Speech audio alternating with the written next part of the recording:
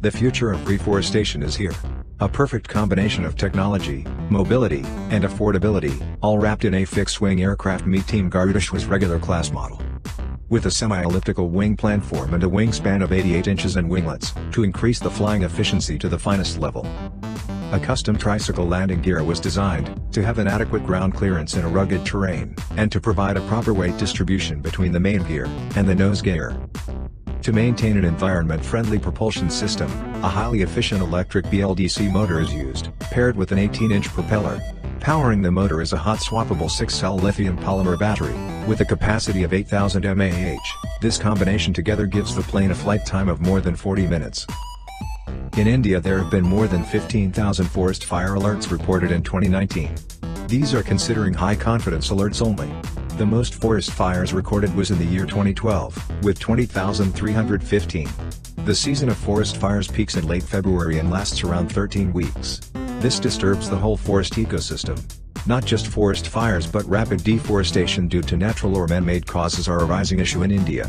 In 2018, India lost more than 130,000 hectares of forest cover, and that number is rising each year.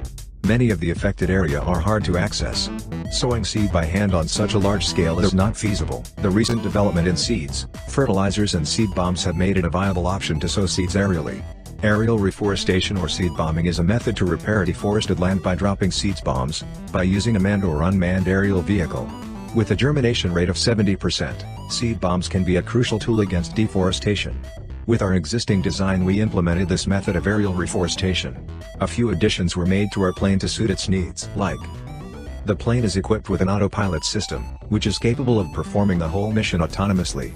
For manually flown missions, the pilot has a gyroscope and a FPV camera for ease of flying. The telemetry of the plane is transmitted through a RF module to the base station. The payload bay was converted into a hopper. The hopper can carry varieties of seeds, and seed bomb. It allows us to maintain steady and smooth flow of seeds to the dispenser. The hopper has a volume of 150 cubic inches, and the plane can carry a payload up to 6 kilograms. The dispenser is attached to the feet of the hopper, and the door of the dispenser is integrated with the autonomous system. The client can program an individual target or an area to sow the seeds. This is assigned over a terrain map which helps the client to visually decide a reforestation site. The dispenser can drop a cluster of seeds or individual seed bombs. The plane autonomously opens the dispenser door. Once the plane reaches the predefined GPS position, a variable dropping height can be programmed depending upon the type of seeds. A safe and a low altitude of 10 meters from the ground is preferred. This results in greater accuracy to reach the target location, and it also helps to increase the rate of germination. Neem trees are found in almost all types of forest in India. This makes neem a great candidate for aerial reforestation.